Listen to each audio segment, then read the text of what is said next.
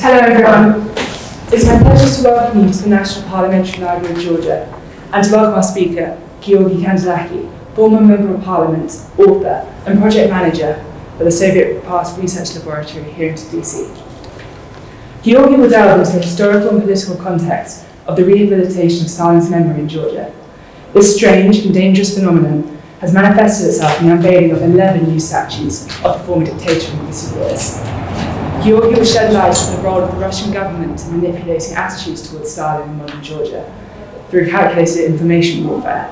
Russia's disinformation campaign serves the Russian interest of hindering Georgia's move towards the West. And Giorgi will discuss how the Russian government is leveraging Stalin's Georgian background to slow the country's westward progress. I hope you enjoy, and I will now pass you over to Giorgi. Thank you. Uh, thank you. Thank you for uh, thanks for inviting me uh, here. Thank you, Ben. Uh, and thank you for uh, to any, whoever is responsible for relocating this program to to Georgia. To that is to Ben again. Uh, I think that's terrific for for Georgia, and I hope that is useful for you. So I'm going to talk today about how. Um, how uh, the personality of Stalin is being weaponized by what is popularly referred to as uh, Russian information warfare and their networks uh, in Georgia. So the long-term uh, project or strategic project of, of the Russian information warfare in Georgia is to cultivate a kind of anti-Western uh, ethno-religious strait of Georgian nationalism uh, in order to sow sort of discord between the Georgian society and Western civilization, to present the Western civilization as some, some sort of threat that uh, endangers our identity, religion, um, and, so forth. In this strategic project, which of course has been uh, there for a long time, there are of course various uh, components, and many of those components would be rather familiar to you. One such component, obviously, which is not unique to Georgia, would be the weaponization of the LGBT question, without doubt. Um, and, uh, and other uh, examples may also uh, come up that, uh, that would be familiar. But there is one, this one component of, of specifically Stalin, which the Russian information warfare and their agents of their influence, uh, uh, so to speak, have successfully tailored specifically to the reality of Georgia in order to serve that purpose, the cultivation of anti-Western nativist or nativism or nativist nationalism, however uh, you call it. And one has to give them credit because this uh, project, this undertaking has been successful. It has been successful and we can, there are ways to measure this success. It is also striking that this success has largely unfolded under the Western radar. It has already been mentioned the emergence in the recent uh, years, the emergence of 11 new statues of Joseph Stalin. That is a big deal. I mean, uh, uh, I mean, uh, a big deal, and unfortunately, it hasn't really received much attention. Imagine what would happen if one statue of Hitler would emerge in, in Austria. There would be a tsunami in the media. But sadly, of course, that, that leads us to another problem of difficulty of, uh, of contextualizing the two totalitarian, totalitarian regimes of the 20th century just because the Soviet Union won in the Second World War, but that's another subject that, that is not the focus of our discussion today. But nevertheless, 11 new statues, that, that is a, a symptom. And of course, these statues have not you know, fallen out of the blue sky. The emergence of these statues specifically now, specifically in recent years, is, uh, is uh, indicative of certain tendency in our society, that these statues have emerged not before, but now. Uh, another way to measure it uh, is, of course, uh, uh, the public opinion polls. We have, we have, we're now trying to um, get some money to do a big poll, but we have bits and pieces uh, in different, different um, surveys you know, when some friends do survey, we ask them to integrate a couple of questions on, on Stalin. And without doubt, we can measure the, uh, the, the increase in, in popularity of, uh, of Stalin. For example, there is a poll uh, from last year. Um, there is a, mm, so there is a coalition of NGOs which uh, work on the questions of disinformation, and my, my organization is part of this coalition. It's, it's ranked by the, a, a British organization which is called Zinc Network, by the way, but it's a, it's a, it's a USAID project. So they commissioned uh, a poll on disinformation last year in which 46% of Georgians say that a patriotic Georgian should be proud of Stalin. Uh, uh, in this year's poll, there was a 12% uptick uh, amongst Georgians, and the overall figure is uh, around under 40% uh, who say that Georgian culture was better protected during the Soviet period when Georgia didn't exist, which mirrors this, this uh, propaganda that, that the European Union and, and, and the United States, uh, there is a conspiracy to destroy our culture. There is a slightly older poll um, specifically on Stalin, a, a, very, very good poll, which, which shows that uh, around 38%, up to 40% say that they heard only or mostly good things about Stalin at school, and around the same number say, say, uh, say the same on family. So it's not only about what's written in textbooks, although that is of course very important, but it's also the word of mouth. What do the teachers you know, believe? Uh, so the way, uh, oh, and of course the question of religion, and, and I'll go back, go, go back to that uh, at several uh, occasions in my talk. The question of religion and the attitude of the Georgian Orthodox Church towards uh, Stalin. So in the same poll, around 40% say that uh, Stalin was a, a secret Christian and patron of the church. And so for someone to convince almost half of the society into such an utter lie, it is a success. By any means, it means that somebody worked uh, successfully. Of course, as in every uh, propaganda undertaking, uh, propaganda takes something that already exists and then amplifies. So don't get me wrong that this, uh, this kind of uh, sentiments in the Georgian society were not existent. They were existent. Particularly their roots go back to 1950s and the events of March 1956 when uh, after the 20th Congress of the Communist Party and de-Stalinization, launch of the de-Stalinization, um, there were riots, there were demonstrations that were shot at, people died, and the sentiment in the society at that time was that the, the, the, the Georgianness of Stalin was, uh, was, uh, uh was, uh, was one of the drivers of this crackdown. And so this, this tendency originates in 1956. By the way, this, uh, this dramatic slight deviation from my uh, topic, uh, the events of 1956 also illustrates the vulnerability of youth towards propaganda. In 1956, you had young people in the street who grew up during Stalin, who knew nothing else but Stalin uh, who were sort of brainwashed with this crazy, crazy propaganda about Stalin being, being superhuman, you know, savior of, of the world, and, and so forth, while their fathers, just one generation earlier uh, in this country, fought and shed blood against Stalin when Stalin engineered the Soviet Russian invasion of Georgia um, in, in, numer in number of wars against the Soviet Russia and its proxies, and of course, most prominently in the 1924 anti-Bolshevik uprising, uh, which claimed lives of thousands of Georgians and in, a real bloodbath uh, in which Stalin was personally involved. And it just, just uh, brings me to the point that I want to uh, highlight on the dangers of propaganda, specifically in the context of youth you know, the sort of the Western diplomatic bubble in this country or the English-speaking, you know, sort of civil society bubble has regarded the problem of Stalin as some sort of folklore uh, phenomenon that is more or less characteristic to, to a bunch of odd uh, old men in Gori who drink strange toasts. And this, uh, this is a mistake. As, as we now can see, in, in we can measure this in various ways.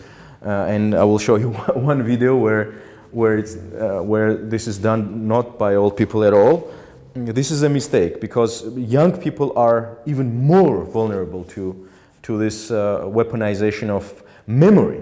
There are other, two other factors that fac have facilitated uh, the success with which this weaponization of Stalin's personality has taken place.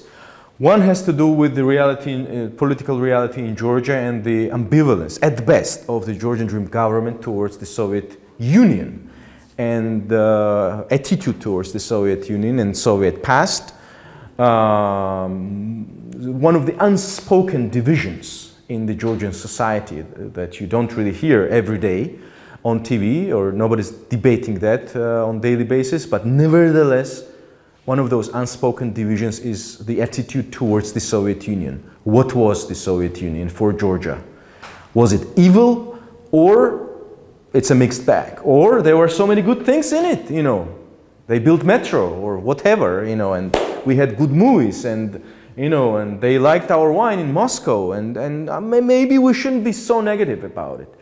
And, uh, and this division uh, has been exploited very successfully by uh, propaganda, and the Georgian government has embraced the ambivalence. And in some cases, actually, especially in the regions, has embraced the, uh, the, the, the, the, the adversary's agenda.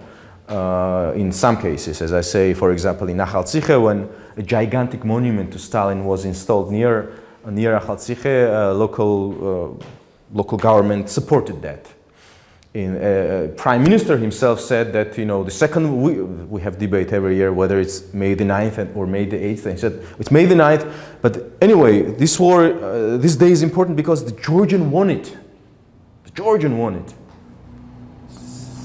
So, another factor, so this, uh, the, the, the, the the, uh, embrace and uh, the gamble with the ambivalence towards the Soviet past uh, which is exemplified in numerous uh, avenues, such as, for example, the uh, increasingly difficult access to archives.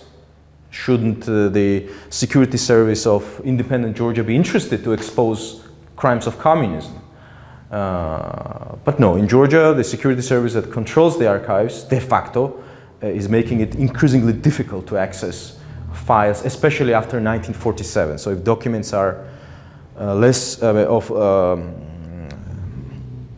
if documents are less than 75 years old, uh, you can't get, so they will cross out everything uh, because they are regarded as personal uh, for whatever reason, personal, personal. So we can't research events of 50s, we can't research the events of late 70s. There were some dramatic events related to Georgian language uh, in 1978.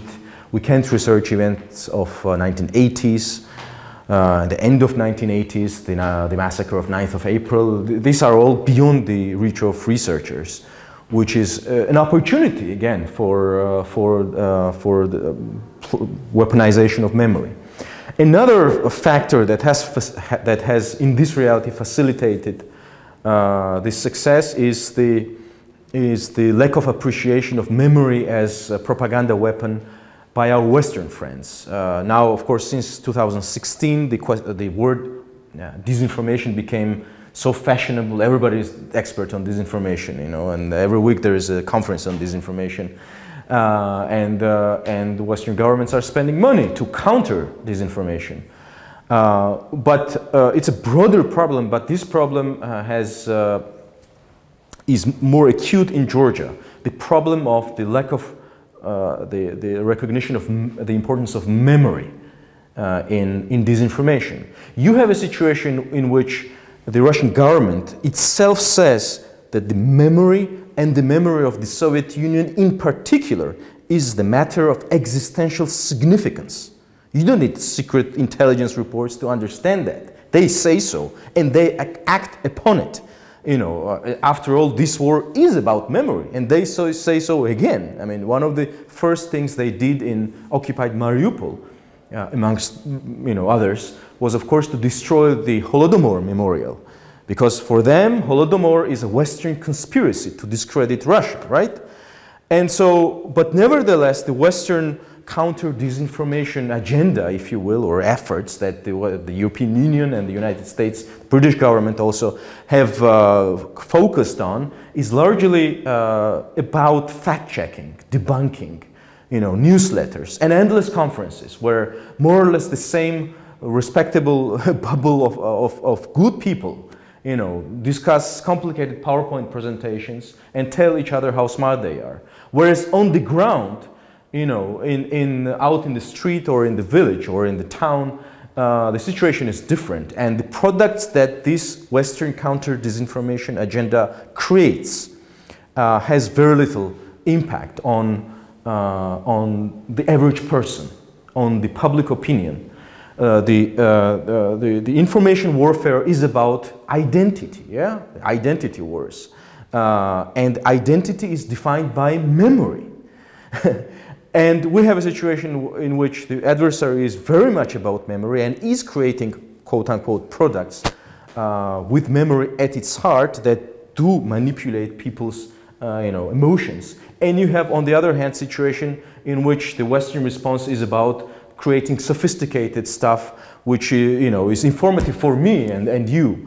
Uh, and in Georgia should, is, is thought to be aiding policymakers to fine tune their policies. But in Georgia, there is an additional problem that, uh, as these uh, newsletters or reports show, the policymakers themselves are often sources of dis Russian disinformation, such as even most recently uh, the Meta, the Facebook's parent company uh, published investigations saying that the Georgian government's strategic communications department is the key institution essentially coordinating in relation to the, these March demonstrations anti-Western uh, disinformation efforts. Essentially, this was the essence of the of the mm, uh, of the investigation. So we have a, a situation like this in, in Georgia, in which uh, Stalin has been successfully weaponized as a, a, tool to shape the future. Again, don't uh, make no mistake this is not about the past. The way they've uh, utilized Stalin is about the future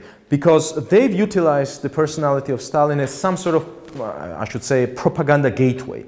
Because if you as a Georgian would agree to the proposition that you should be proud of Stalin for whatever reason, even a bit, right? For the reason of that he was the most powerful Georgian and he had good humor, whatever then of course, are you more likely or less to be receptive to other sort of tactical narratives that the information warfare machine produces or conspiracy theories, such as, for example, that there is a, uh, a Western conspiracy to destroy Orthodox Christianity. There is such conspiracy theory, very popular, uh, that there is such, uh, uh, such some people, you know, it also has anti-Semitic flavor, uh, gathered to de design some conspiracy to destroy our church and our identity and um, uh, and so forth. So uh, that also brings me now to the question of uh, the Georgian Orthodox Church. Georgian Orthodox Church, of course, it's it's not a monolithic uh, institution, and there are differences of opinion there, but increasingly uh, the voices that have emanated from the church into the society have been uh, replicating Russian uh, disinformation narratives on uh, especially uh, embracing the uh, LGBT propaganda and the, generally, broadly speaking, the anti-Western sort of perspective that, that, that, that the West is a bigger threat than, than Russia. So you have tanks, Russian tanks, 40 kilometers from here. But the West is still, because they take away our soul. And the Russians don't take away our soul. uh, and so, and now some of our Western friends have been puzzled what to do about it. And it's, it's certainly a problem. And uh, some of them, did, uh, some years ago, devised this project to fly around uh, Georgian Orthodox uh, Church bishops to Washington and Brussels and uh, you know organize their group visits to NATO headquarters and U.S. Congress and so forth. Uh, and they dubbed this as a sort of counter disinformation project. But of course, this changed nothing. And the same, uh, same. I mean, you can just Google uh, the quotes of some of the bishops that say say totally crazy stuff about Stalin also, because Stalin is a, is a, is a really a, Stalin is a, some, somehow like a flagship uh, flagship thing in this, in this big project of uh, cultivating anti-Western Georgian uh, uh, nationalism. It's like an umbrella that brings everything together. That this image of this individual with big mustache that has, of course, 100% sort of image recognition, if you will, or name recognition. Everybody knows who this is, everything can fit into this, and we can be proud of this, this, uh, you know, uh, this icon of, of, of, of Stalin and and uh, the, uh, some of the more openly pro-Kremlin extremist groups in this country have openly and increasingly identified themselves with, with Stalin. They go to Moscow, Stalin's tomb, and they say, we shall end, we shall bring his struggle to the victorious, uh, victorious end. So, uh, so to, to, to cut it short, the, uh, the lack of appreciation of significance of this problem has, uh, has been a great gift to, to our adversary who has, who has been very successful at, uh, um, at cultivating this uh, um, uh, project. And finally, uh, what also has enabled them to be so successful is what I call Georgia's amnesia with the 20th century. Uh, and it also, in part, this is legacy of Stalin himself. Because one of his legacies in Georgia is the reformatting of Georgian nationalism. He was personally so involved in, in Georgia uh, at various occasions. Um, and uh, after the Second World War, he was so much involved in this history textbook development and all that stuff and so what, what actually happened was that the focus of Georgian sort of patriotic discourse shifted from modernity to Middle Ages, to 800 years ago. We can be proud of these kings and queens and, and so forth, and Russia will take care of modernity. And if you deal with, uh, you know, in social situations with Georgians, uh, and, you know, small talk will, will bring up this issue, the focus is somewhere, somewhere there, in, far away, not in the 20th century, uh, where Georgia had uh, uh, a, successful, successful uh, parliamentary democracy with international recognition and women members of parliament and jury trials and you know, elections and, and, and uh, all that. Uh, and that something that was taken away by Stalin. So this society has somehow not dealt with this uh, issue, and that's what we're, my organization, Sovlab, designated by Russian MFA as Georgia's number one organization faking history, is trying to do. We just completed, and it hopefully will be out uh, by the end of the year. A popular science book, we, which was like a collaboration between uh, a group of researchers and uh, one of Georgia's most popular writers, Lasha Bugadze. Uh, uh, it's a book about Stalin's role in Georgia's history. And oddly enough, uh, it emerges that no one has written anything ever on this subject. Uh, from Stalinist perspectives, of course, there are many books. And by the way, we did research on, on uh, books about Stalin, and, and, and their statistic goes like this in 90s, in 90s, in, during independence. All of them pro-Stalin books. Yeah, and so this will be the first, uh, our working title is Joseph Stalin versus Georgia. It will be a very provocative book and hopefully, hopefully we'll, we'll steer some discussion. We hope to have some campaign with it uh, and somehow employ the same logic as, as the propaganda does, but in a reverse way. So for them, it's a, it's a gateway to inject their narratives, but it should be a gateway for us to revive the discussion about the 20th century, about the Soviet Union, uh, and about Stalin's personality. And, and somehow, as strange as it sounds, this society has never had a discussion about Stalin. Never. And probably now is the time to have it. And I'll end there. I'm sure you'll have questions. Yes, let's watch. Oh, so what is this video about? Um, it's, it's taken by I don't know whom. I, uh, it's taken around two, three months ago, so it's very recent. And uh, and it's taken by somebody, I mean, somebody in a, in a real social situation, in, a, in, a, in Gori, in a restaurant. Everybody's young, and they just, uh, the rest you will see because it has English subtitles. And it just shows the, uh, shows the world outside the conference rooms. you know.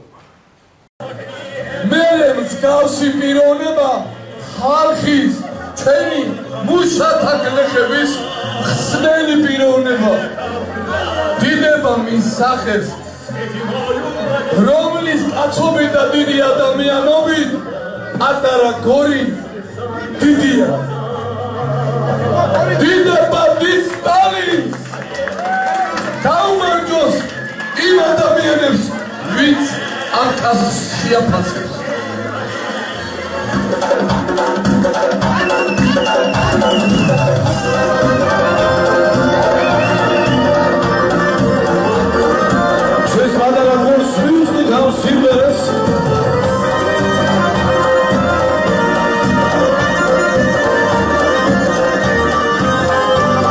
For me, this video is very tragic. Uh, it's very tragic because, uh, of course, you all know uh, about uh, Stalin and his crimes, but this story of Stalin's crimes against Georgia are uh, unknown.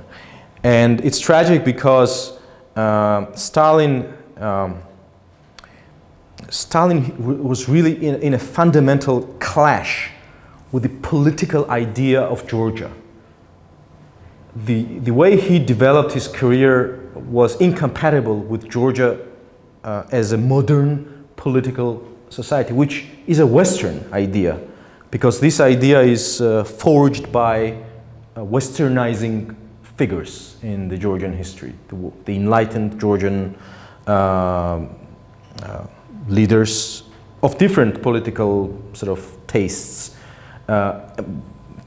And when Georgia was created, it, it so happened that uh, when Georgia, Georgian Modern Republic was created, it was Social Democrats, wrongly called Mensheviks, because, because wrongly called for, called for two reasons. First, because in the Russian Empire, when it was still nominally one party, uh, the, the so-called Mensheviks, the minority, were in majority in Caucasus, in, in, in Georgia. The Bolsheviks were marginals uh, in Georgia. And it's wrongly, they're wrongly called Mensheviks also because when Georgia became independent, they were called Social Democratic Party of Georgia.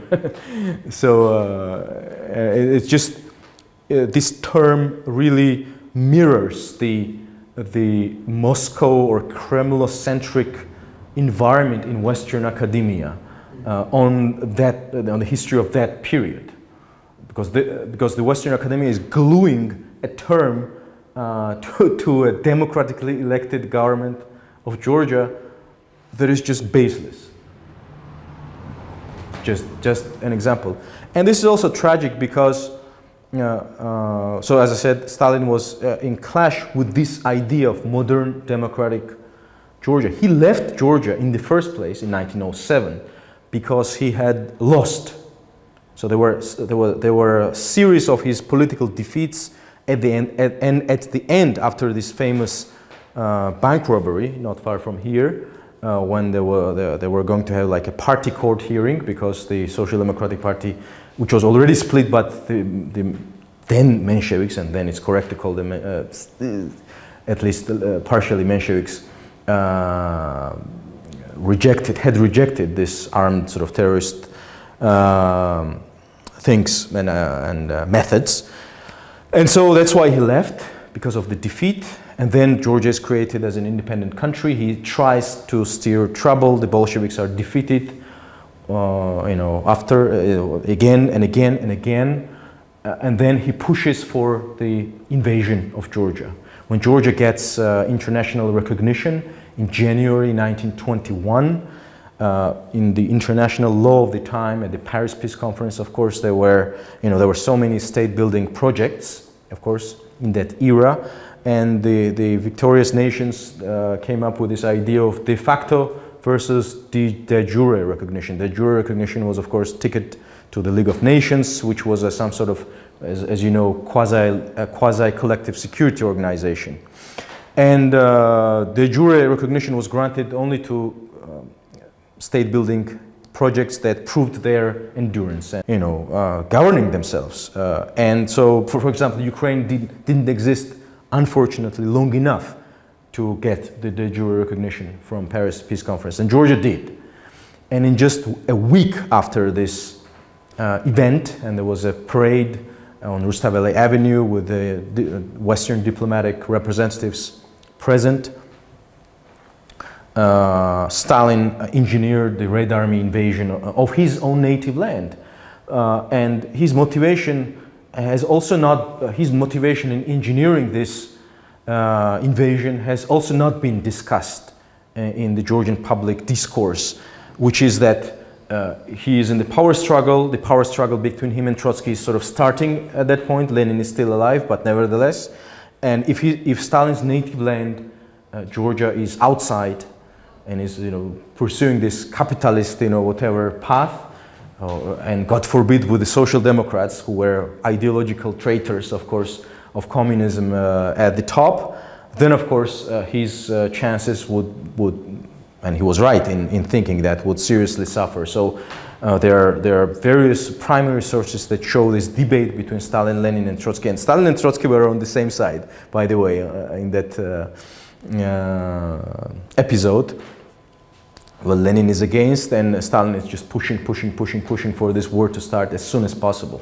And uh, on February the 11th of 1921, uh, two Red armies invaded Georgia from five sides, and Georgia fought alone uh, for a month with the French Navy taking part in the war in, uh, in Abkhazia, also not known. And this war in itself is absolutely unknown in the, uh, not only in Russia, but in, uh, in elsewhere too, it's believed that somehow the fact that Georgia ended up in the Soviet Union, you know, how else could it be that Stalin was Georgian or Orjonikidze, Beria, all these people were Georgian? And so it's just an, what was the result of the natural sequence of events that Georgia was a founding member of the Soviet Union, although it wasn't because it was through this Caucasian Federation. It's another subject. So occupation, when, when the Museum of Soviet Occupation were, was opened in Tbilisi, the, the Russian leadership was, went nuts. What occupation were they saying? What occupation? It's just absurd. Uh, because Stalin, Beria, that, that's what Putin said it on the record, by the way. So as if that Dzerzhinsky was Polish, that was in any way justification for, you know, Molotov-Ribbentrop Pact or whatever, you know. so it, the Bolsheviks are a bunch of, uh, you know, eclectic uh, crazies or criminals. Anyway, sorry. but please ask me anything you wish Do you think uh, the current uh, uh, ideation of ideation of Stalin mm-hmm. and that movement could come from uh, the dissatisfaction of the people of current circumstances in the political field or the social field, like why why are there so many people turning to Stalin, like because usually there's a cause for people getting affected by propaganda, some kind of mm-hmm. current dissatisfaction. So, what do you think is the dissatisfaction for the people in Georgia? I think the key, uh, key uh, more or less I, I, listed all the key reasons uh, for this. It's the amnesia, it's the ambivalence of the current Georgian government towards the Soviet past and therefore openness towards this propaganda. I think that is the key reason. Uh, and it is the uh, very disciplined, long-term and intensive uh, bombardment of the Georgian public space with, with messages that then get mirrored in videos like this. Uh, I wouldn't link, you know, sort of the, I don't know, food prices with uh, Stalin uh, sort of directly. It's, it's, the, it's the successful manipulation of the patriotic sentiment because Georgians, Georgians regard themselves as patriotic and patriotism requires symbols. So that's a great symbol. I, uh, as I mentioned to you, I, I gave a talk about uh, Stalin and Shakespeare uh, a year ago, and one of the things that sort of conclu concluded about the, the, character of Stalin, and it came out in, in, something I observed several years ago in Russia. Uh, there were a, a, bunch of management books that were issued. I saw them in, in, a, in the uh, airport bookstore um, about Stalin as a good manager. and uh, they were on the order of Steve Jobs types of books, right? And, and as I would, would leaf through them, I look through them, it was, it, was, hard to decide to open the labor camps. But uh, Comrade Stalin made the decision. And uh, the, the element, and it was, a, it was something that I was hearing at the same time about Putin, is saying, he's, he is a monster but he knows how to make a decision. Who else in the world today, what other leader in the world today can make a decision? And it struck me reading these books that this was the reflection of a Russian middle manager or a businessman, a person who was really very uh, passive and really couldn't do much about his situation.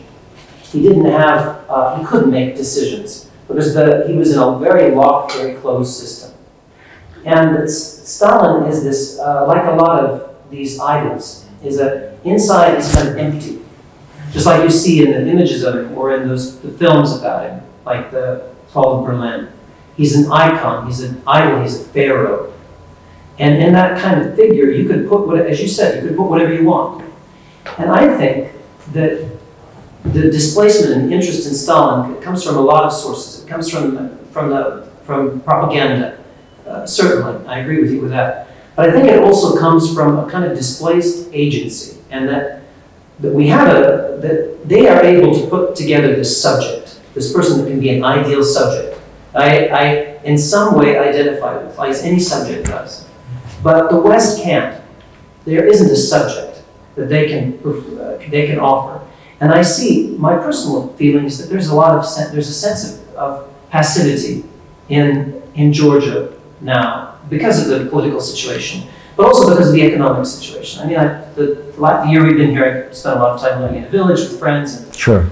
But there just seems to be endless numbers of, of men and, and young men, able-bodied men, that have sent their sisters and their sure, wives sure, sure, sure, absolutely. And I think that there's a, I mean, I remember we were in a swimming hole in Guria and this uh, ch chatting with this young guy in Russian, uh, and he takes off his shirt and has a huge swastika uh, tattooed on his arm. and I, is the first time I've sat next to somebody and having a normal that has a swastika tattoo. For me, it's just a really very, very uh, uncomfortable thing. Sweet fellow, perfectly. And there's a, I wonder if there isn't this here as well. There's a sense of a lack of agency that you. Ignorance, yeah, patriotism, yeah. but you have no focal point. Yes, and, and, th and, that is why, again, as I said, that is why uh, th this question of amnesia with the 20th century uh, comes into play. And, and there, I think a fair analogy, uh, of course, there is no, it's not identical because no country is identical, but still fair analogy would be uh, uh, to draw a parallel with, with the Baltic states for Georgia, which, which, um, which we often, in various uh, issues, compare Georgia with. And uh, in, a, in an oversimplified terms, uh, the identity of, of an ordinary Lithuanian, historical identity, uh, again in oversimplified terms, is that we had our own country, which by the standards of the time was doing more or less okay. And then these guys came, these guys met, signed some papers, and then these other guys in leather jackets and guns came and destroyed our country and killed a good portion of our population. And now we're somehow trying to get, get back on track. And that narrative, even though it would be absolutely fair to, to uh, to be at the heart of Georgian, uh, modern Georgian identity that is completely absent. And there is, a, again, there is an opportunity. Uh, perhaps for me, the, the best figure that explains the extent of uh, the Soviet Union's mm, uh, Soviet Union rupturing the social fabric of the Georgian society is the statistic of what happened to the democratically elected members of Georgian parliament. There were seven parties in Georgian parliament. There were uh, parliamentary elections in 1919, five women, of which two were shot. Uh, and there were 130 members, okay? So in 1921, when the occupation started, in, on March the 17th, when the uh, part of the government uh, uh, left to France, uh, uh, there were 139 people who were either sitting or former members. There were some by-elections meanwhile, and couple of people lost seats, so there were 139 sitting or, uh, uh, sitting or former MPs, of which 108 stayed in Georgia, of which 51 were shot and 37 exiled, of which five died in exile. And, and even though, uh, I mean, it's, one may say it's cherry picking, but it really illustrates the, the, the viciousness with which Stalin sort of smashed this project of Georgia being European democratic rule of law country. Uh, because the ideas on which that country, the Democratic Republic of Georgia, was based on, were Western ideas. They were about rule of law and human rights and pluralism and all that. And these ideas were put to work, one can say, more successfully than, uh, than today. The, the caliber of political competition in, in parliament and, and, the, and the judiciary and the jury trials and, and when, when you sort of try to reconstruct how things work, you know, without idealization, of course, you know, small nations tend to idealize their past uh, as well.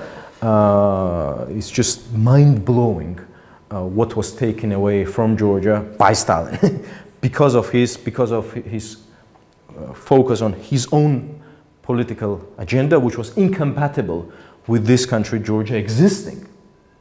And as uh, somebody from uh, Britain, whose name was Ramsay MacDonald, first Labour Prime Minister, who came here as a Labour leader in 1920, as he wrote uh, after returning to the UK, he said, there, there exists today no more serious challenge to Soviet Russia than the socialist government of Georgia, uh, Ramsay MacDonald said. Yeah, and then, and this, this fundamental clash between the personality of Stalin and the political idea of Georgia, this story has never been told. Until, until now. what's, the, what's your plan for trying to get this into the school history books? So we, we, it will be hard to uh, do it with uh, this government, but what we try to, what we aim to do is to work with uh, independent teachers associations. Uh, there are independent teachers associ associations to recommend to their members this as a supplementary reading at schools, which still would be a, a successful thing. And in the future, of course, but uh, this can be a more immediate, uh, this is a more immediately achievable objective. Yeah. So I am trying to come to terms with the fact that you were talking about the amnesia that exists now, mm -hmm. 20th century, but what about the 20th century? You're 1956, and the 20th Congress of the mm -hmm. Party at Khrushchev and the Thaw and the rehabilitation of the President Gulag, um, the Georgians, mm-hmm. you know, they kept worshipping Stalin. You know, the first place the tourists were taken to was Gori. He, the, he was idolized all the way through, despite the fact that millions of Georgians perished in Gulag. Uh, not, not millions, but many. There's this schism um, that. Um, so, what's your question? The question is, um, how would you explain that? Because happened in the 20th century, Yes, as I said, as I said, this thing existed uh, before, but with time, why did it exist? Again, it, because of Stalin's Georgian origins. Just there is no other reason. There's no. There is uh, Stalin's Georgian origin. Right. Stalin's Georgian origin, and the small nation thing. He was so powerful. He won the war you know, it's just this, as simple as it gets. Uh, this, it's so simple, it's almost genius. This narrative that now is amplified, of course. Small town boy who made it so big, you know, who won the war. But again, there it's also uh, thing is that the war in this mythology, of course, starts in 1941. Not this this period between 39 and 41 is blank. It's white. Nothing, nothing, nothing is happening. Everyone is just sitting there and just looking in the, in the ceiling, you know. Uh, and uh, he was the most powerful Georgian ever. In disinformation, power is asset. He was so powerful. He was from small town and he ruled them all. He showed them all. And let's be proud. By amnesia, by amnesia I, I, mostly meant, however, I mostly meant the, the amnesia with, uh, with uh, his deeds and and, and what he did in, when he was alive and what he did to independent Georgia. Yes, that's what I mean. Yeah, the, the amnesia with, uh, with the story of Stalin's uh, uh, impact on Georgian history. That's what I meant. Can we say that there's not one particular source or kind of top-down figure that is driving this pro-Stalin sentiment? That it's kind of like a, a wheel that just keeps growing or some kind of social phenomenon? Yeah, no, there are media outlets. So uh, by propaganda, of course, this propaganda has faces, and there are organized organizations uh, that are known for uh, sort of disseminating these narratives, and some of them have there are TV stations, there are newspapers, there are uh, Facebook uh, groups and uh, pages. Uh, there is an ecosystem of, of this propaganda, and there you can see on TikTok a lot of videos on TikTok, and there you can see more or less the, the identical narratives recycled all the time, all the time, betting on this pride, small nation pride thing, and church, Christianity, Christianity. Yeah. Like the Georgian Dream MP, couple, two years ago, he bought a painting by Stalin, or I, I, I don't know, something was something was, uh, so they, the journalist goes up to this Georgian Dream MP and asks him, so what about this painting or whatever? It doesn't really matter what was the occasion. But then he justifies this and he says, oh, because he was, he was so educated. He was a great patriot. And he was a believer. He was Christian, right? As says an MP who is like, you know, 60 years old. who should be a respectable guy, a businessman from, you know, Zestaponin and so on. Yeah.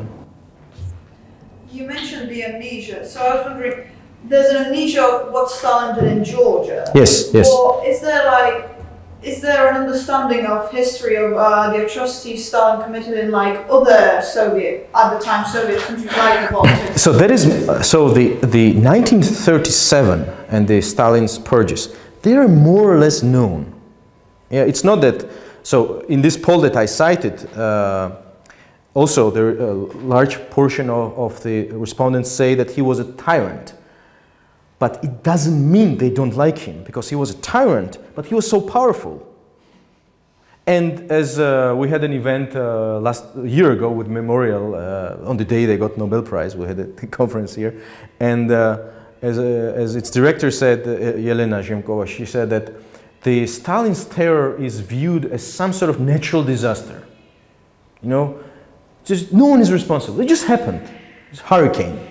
It just happened and no one is respons responsible for, for, for this. And more or less, uh, the attitude towards the purges of 1930s is uh, like that in Georgia too, like in Russia. In, uh, there, there is similarity that it just, just those were the times. It just happened so. What can we do? insight how Stalin has viewed the breakaway of Georgia, like Abkhazia, who right. Different relationship with Georgia itself and also the Soviet Union. Sure. So, uh, small terminological correction, occupied regions. it's a status neutral uh, terminology that is inaccurate. Uh, a very interesting question. So, in, uh, so two different ca uh, cases. Of course, in uh, South Ossetia, Tskhinvali region, in, in this proxy uh, crazy regime that there is, they want to, they, they, they, there is this like a provincial conspiracy crazy stuff that Stalin was in fact Ossetian. You may have heard of it, that Stalin was Ossetian, that Georgians stole Stalin from us, you know. so they had, the, occasionally they have these movements to rename their capital into Stalin, Staliniri, whatever, yeah, so. And so the, that's the attitude in South Ossetia very shortly. Uh, and in Abkhazia, it's more, uh, more uh, um, it's, it's, totally different. Uh, so the, uh, the mythology of, uh, um, that was engineered in Soviet period that served as a basis for Abkhaz ethno-nationalism against Georgians um, claimed that Stalin and Beria, in particular Beria, but you know Beria was Stalin's man, uh, they uh, they they uh, absorbed Abkhazia into Georgia as Georgian nationalists. So so they were projecting Georgian nationalism on Abkhazia because they were Georgians. That's the mythology. That uh, that, that Beria settled some Georgians, uh, ethnic Georgians, uh, to Abkhazia, which is partially true but for, for, uh, uh, for other reasons, um, of course, because both destroyed independent uh, Georgia. But uh, there is also a claim that Abkhazia was a Soviet republic, and then Stalin downgraded, Stalin Beria downgraded its, uh, uh, legal status in the Soviet federalism to make it autonomy of Georgia, and so therefore they are, uh, they are not really liked, just in, in this Abkhaz uh, context. But there too, and we're actually working on, another project, uh, there too it, it is just striking how powerful uh, propaganda can be, and it is possible to fool a lot of people for a very long time. It is possible. And, uh, and uh, in Abkhazia in particular, one of the founding myths of this chauvinism against Georgians that KGB cultivated, to be honest, throughout decades, is that Nestor Lakoba, who was the leader of uh, Abkhaz, one of the leaders of com local communists, and the struggle of local communists against the government of Noe Jordania, that this struggle at the same time was the struggle of Abkhaz against the Georgian oppression. That's the mythology. And uh, it emerges that the key leaders of the Bolsheviks in Abkhazia who fought against Georgia were Georgians, ethnic Georgians. And the key figures on the Georgian side who fought against Bolsheviks were Abkhaz. So the, the, head of the local counterintelligence service who rooted out Bolsheviks from Abkhazia and defeated them. That's why the war became necessary in the first place, because the Bolsheviks were defeated in Georgia. And this, this hope for internal upheaval and revolution and all that, uprising of workers uh, and so on, that, that was just not, not coming. Because the Bolsheviks were not popular, they were hated, and they lost. And they were defeated whenever they had uh, attempts of armed uh, uh, sort of attempts to overthrow the democratically elected government. Uh, and so it was the, the other way around. Then there is mythology that uh, there was this rebellion and these glorious communist peasants, they overthrow, they, they Sovietized Abkhazia. And there, this term is also like breakaway. It's, it's a euphemism for occupation because what Soviet, Sovietization is, is a term invented by communists to, to veil the fact of invasion and military aggression. Because when army of one country crosses the border of uh, another that it itself recognizes and then occupies it through the, use of force, that is called occupation, not Sovietization, whatever that is. So, uh, and in this mythology, there was this glorious communist peasants who rebelled and Sovietized Abkhazia. Well, uh, in 1921, uh, one front of the Georgian-Russian war was in Abkhazia. The 9th Russian Red Army invaded Georgia from Abkhazia. It was all Russians and all the units, the strength, the arms, the battles, everything is known. Uh, the commanders uh, from both sides. And it was the Russian Red Army, the 9th Army, and it was the Georgian Army and the People's Guard. And that's it.